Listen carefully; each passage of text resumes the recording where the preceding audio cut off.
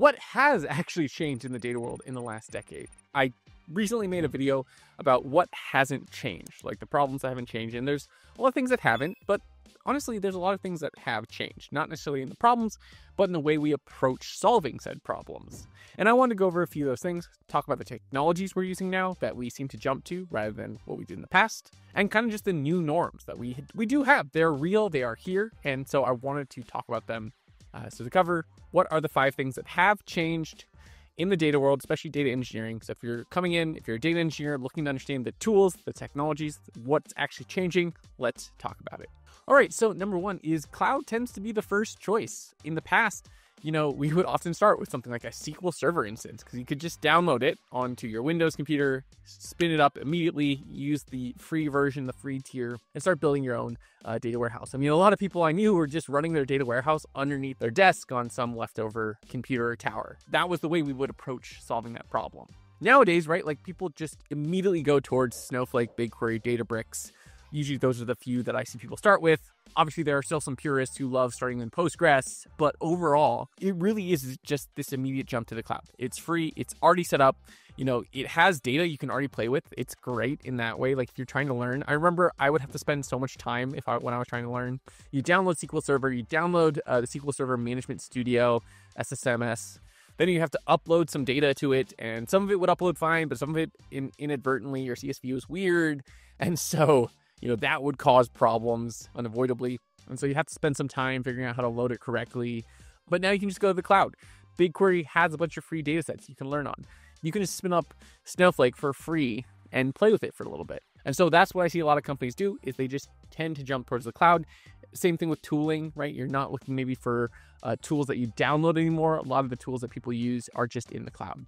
So there is this cloud first uh, kind of approach that I've noticed that everyone just jumps there whether it's more expensive or not is not the point. That is just where I see people jump to. Along with that, in terms of like tooling, I don't see people jump to bash as often as like the first go round or some sort of scripting, you know, approach. A lot of people just jump straight into like Airflow or a more complex tool, right, when they're trying to load their data in. Either some people are will just go down the route of I coded this in Python and uh, maybe use a Lambda to actually be the loading tool. But I see a lot more people jumping straight to things like Airflow, even if they don't know how complex their pipelines are going to be. Uh, that might be good or bad, but that does seem to be more of the natural way people do it. Part of that's probably because exactly about a decade ago, Airflow was open source. So it's not just Airflow, it is other tools as well, right? You've got Prefect, Dagster, Mage, all of these as options on how you could orchestrate your pipelines. And so all of these uh, are becoming more and more options that I'm seeing every day. And so that's something that I, I, see less. It's like there's less of these like bash that call stored procedure approaches, right? Like that was really the way a lot of people would script these things. They'd have, you know, a Python or a bash script that was called via cron. You're seeing less of that, right? Like people are going to DBT, they're going to Airflow, they're going to things that exist out of the box and try to solve some of these problems. They've done great in terms of marketing, right? They, they're on all the like what should you learn as a data engineer list and that has really, I think, helped them become more popular. Again, whether you like it or not, I know a lot of people have mixed feelings on all these tools, like they're being used, right? Like these are tools that are being used. And I still see it on my DBT video that has terrible audio. I'm sorry. I just see it all the time where people make references or make jokes and like, oh, why are we doing this, etc. It's like whether you agree with it or not, people use it, and it's hard to to deny that like Airflow isn't being used and DBT isn't being used, right? They have gained popularity. Next, I want to talk about hiring, right? When I started hiring, there was there was definitely this space for juniors, right? And we've all seen the charts of like how hiring is going currently. You know, everyone wants to hire seniors. Uh, juniors are sadly kind of kind of in the decline, and I see this so often. Like I think that's like the harder thing. It's not just the data that says this to me; it is the anecdotes. And if you've ever seen that quote from Jeff Bezos where he talks about if the anecdotes and the data don't align, you should probably check your data, right? Your data is probably hiding something. Someone put up the quote because that's not the exact line, but the point is, right? There is something to be said that like I have anecdotes and there's data, and so I do believe this is what is happening.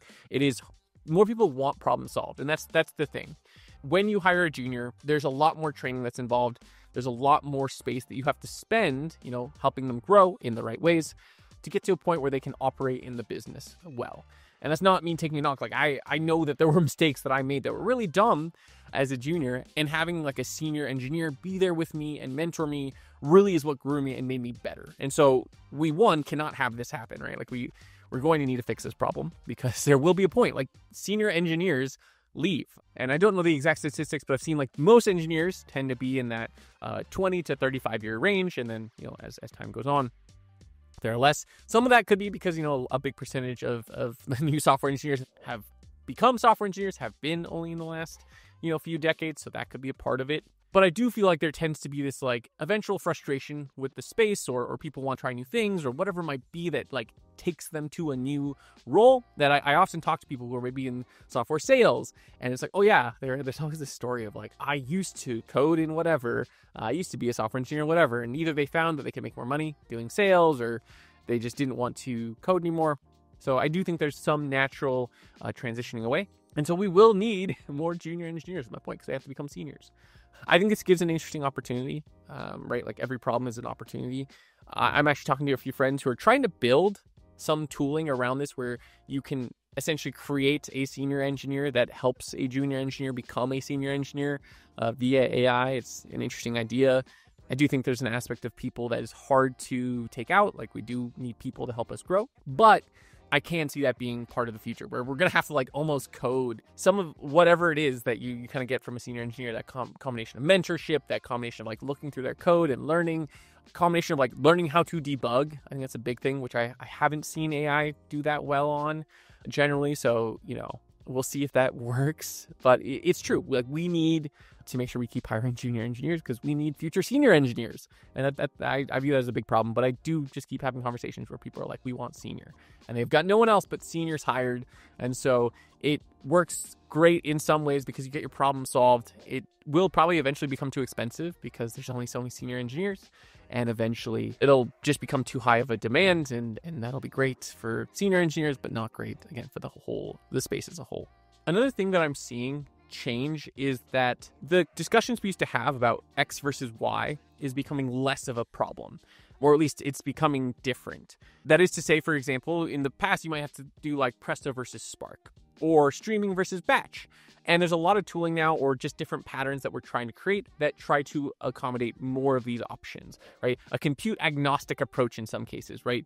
Where because you use maybe Apache Iceberg or some similar solution, you now right, have an option on what compute you actually use. You can use Presto, you can use Spark.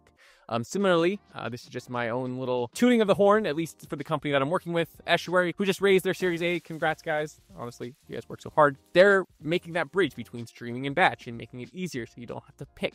And I think this is kind of part of the future, right? Like, why should we be picking which compute we want to use? Why can't I use DuckDB or Presto or Spark? You know, depending on what I need to run, depending on what could be cheaper or maybe faster. You know, again, we we actually were able to do this at Facebook.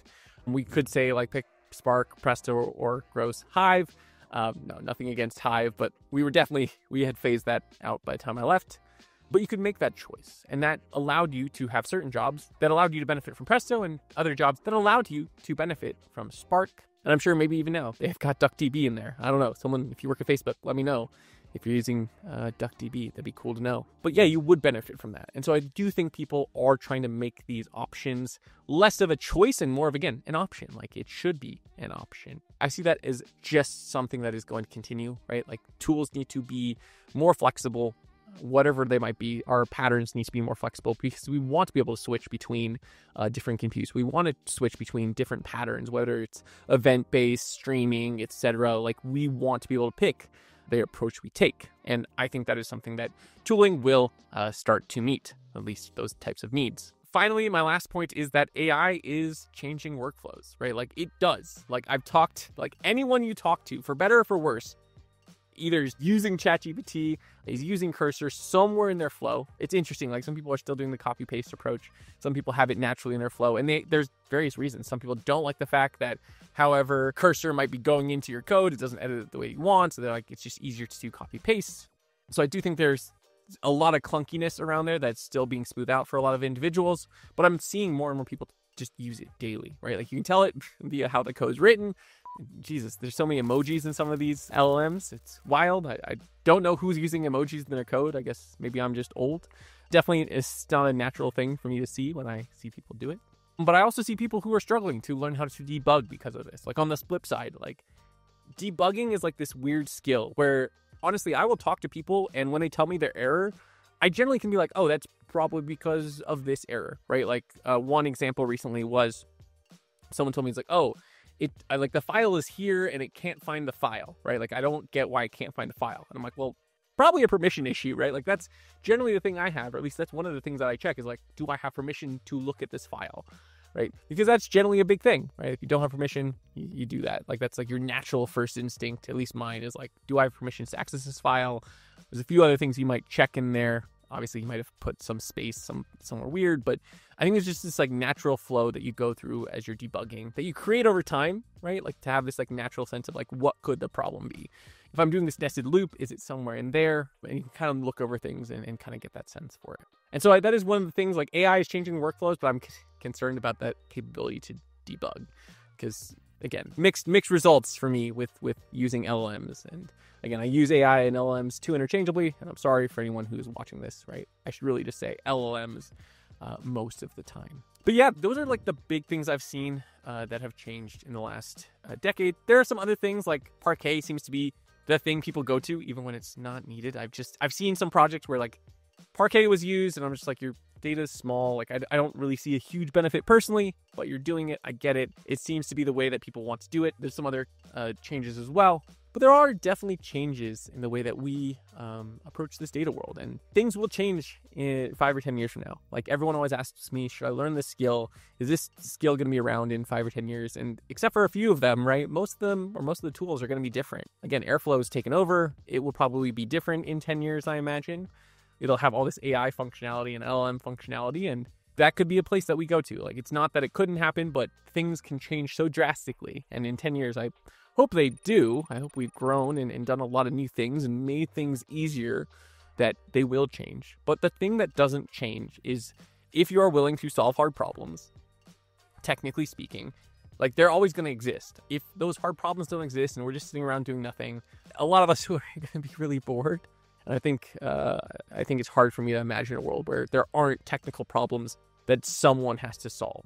So I'll always sit on that fact that like if you can learn the ability to look at a problem, solve it with the skills that you have, or learn the new skills required to solve it, um, there will always be a job for you somewhere. With that, hopefully this video helps you understand what has changed, what I've seen in the, changed in the last decade.